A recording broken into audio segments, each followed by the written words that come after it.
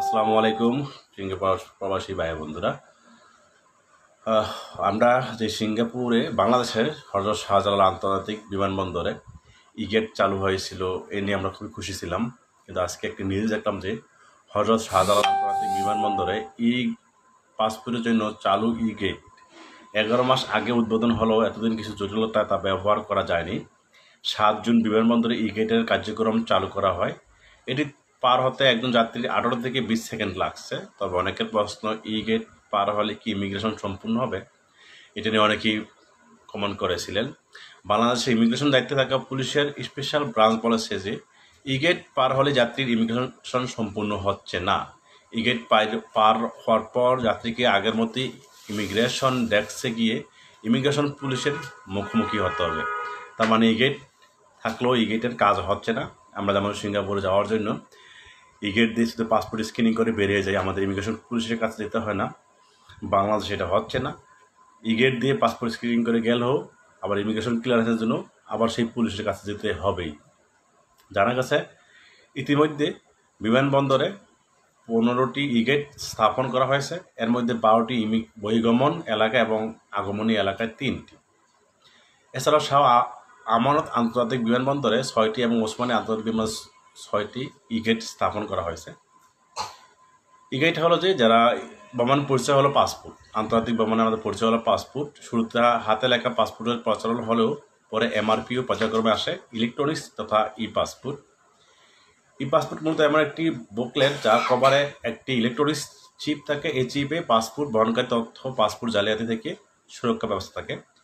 MRP ক্ষেত্রে ব্যক্তির আঙ্গুলের দশ আঙ্গুলের ছাপ সংরক্ষণ ব্যবস্থা ছিল না, যা এই পাসপোর্টে আছে। এর মাইক্রো প্রেশন একজন ব্যক্তির বায়োমেট্রিক ও বায়োগ্রাফিক একচল্লিশটি তথ্য থাকে। এর মধ্যে ছাব্বিশটি তথ্য খালি চোখে দেখা যায়।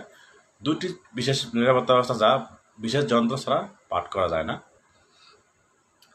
তো এটা ছিল ওই যে ইমিগ্রেশনের এগে সম্পর্কে জানাছিলাম এই আলোচনা করলাম, এই জন্য নিউজটা আপনাদের সামনে তুলে ধরলাম।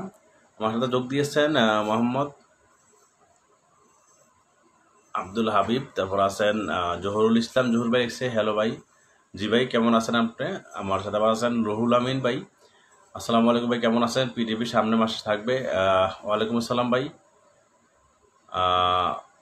সামনের মাসে থাকবে কি থাকবে না, সে ব্যাপারে কিছু বলা যাচ্ছে না। অগ্রিম কিছু বলা যাচ্ছে না। হয়তো সময় সাপেক্ষেই বলা যাবে যে সামনের মাস থেকে থাকছে কি না এটা আপডেটের জন্য অপেক্ষা করতে হবে। তো অনেকেই হয়তো ভাবতেছেন যে থাকবে না, অনেকের কাছে জিনিসটা আসতেছে। লাল মিয়া ভাই, কেমন আছেন ভাই? হ্যাঁ ডিজিটাল বাংলাদেশে এরকমই ভাই। শুধু শুধু ইগেট চালু করেছে অনেক নিউজ হলো, অনেক কিছুই আমরাও নিউজ শেয়ার করেছিলাম। কিন্তু যে উদ্দেশ্য স্থাপন করা হয়েছে, আমরা যেভাবে আগে ইগেট মানে ভাবছিলাম যে পাসপোর্ট স্ক্যানিং করলেই শেষ বুঝি। ইমিগ্রেশন ক্লিয়ারেন্স কিন্তু না, সেটা হচ্ছে না।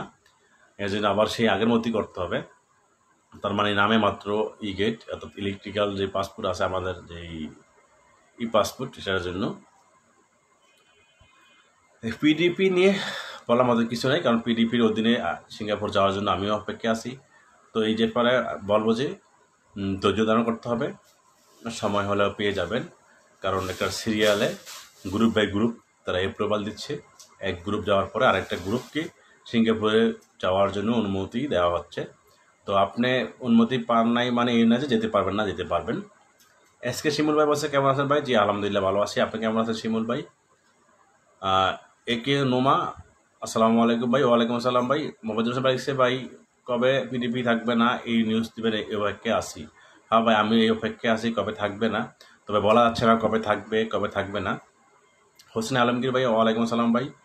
আমার সাথে আছেন আলম ভাই। আলম ভাই, কেমন আছেন? জি ভাই, আমি আলহামদুলিল্লাহ ভালো আছি। আপনি কেমন আছেন? এমডি পলাশ দেওয়া লিখছে, ভাই, আমি ইন্ডিগো টিকিট কিনছি, কিন্তু কি পেপার লাগে একটু জানাবেন। আপনি কি আইপি নিয়ে যাবেন না পাস ওয়ার্ক পারমিট বেরিয়ে গেছে ওয়ার্ক পারমিটে যাবেন? সেটা জানতে হবে। আজকে ইন্ডিগো এর ফ্লাইটে যাওয়ার সময় এক বাই এস পাস বাই সিঙ্গাপুরে যাওয়ার জন্য এয়ারপোর্ট থেকে তাকে ইমিগ্রেশন ক্লিয়ারেন্স দেয় নাই। তারা বলেছে বন্ড পেপার লাগবে। অথচ এমআইএমআর ওয়েবসাইটে কিন্তু স্পষ্ট লেখা আছে, যারা এস পাস নিয়ে যাবে, তাদের বন্ড পেপার লাগবে না। অর্থাৎ আমাদের বিমানবন্দর কর্তৃপক্ষ জিনিসটা জানতে চা- জানতো না, জানে না। এটার সমস্যা আমাদের এয়ারপোর্ট কর্তৃপক্ষকে এটা আপডেট জানতে হবে সিঙ্গাপুরের নিয়ম অনুসারে। তারা মুখস্থ বিদ্যা, তারা জানে যে সিঙ্গাপুর যেতে হলে এই জিনিসটা লাগে। যে কী বলে এটাকে? বন পেপার লাগে। সবার কাছ থেকে বন পেপার যাচ্ছে এস পাস অন্যান্য পাস উল্টো যারা যাবে, তাদের কি পাস এই বন পেপার লাগবে কি না এই জিনিসটা আমাদের এয়ারপোর্ট কর্তৃপক্ষ জানা না। সেই কারণে একটা ভাই আজকে এয়ারপোর্টে যাওয়া সিঙ্গাপুর যাওয়া হয় নাই সেই ভাইটা আমাকে কল দিয়ে অনেক কোনো কথা বললাম ভাইয়ের সাথে, এটা খুবই দুঃখজনক।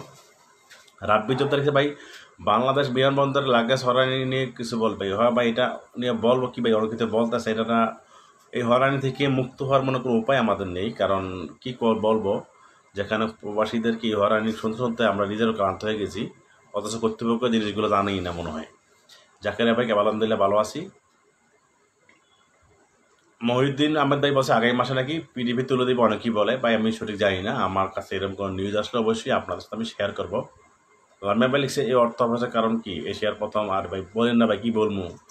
শুধু শুধু তারা অর্থ অফাসে করেছে, কিন্তু কোনো কাজই আসলো না। তার লাভ কেটে করে?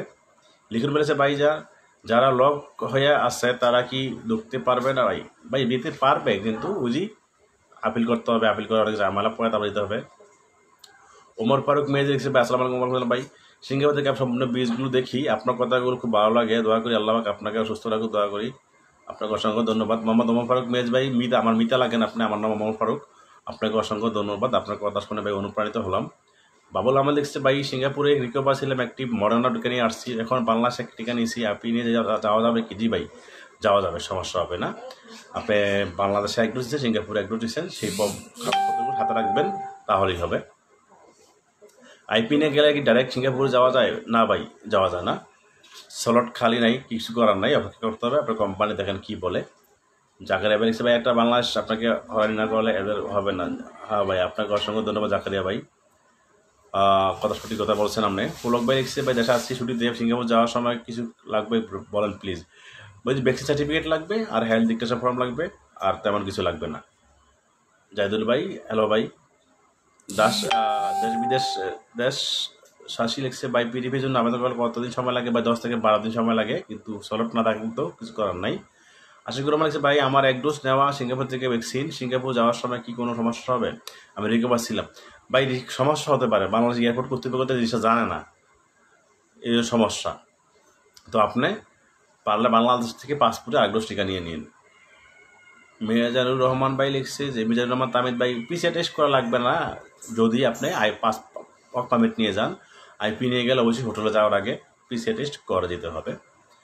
তোর কথা বললাম সকালে বাদাম আল্লাহ হাফেজ।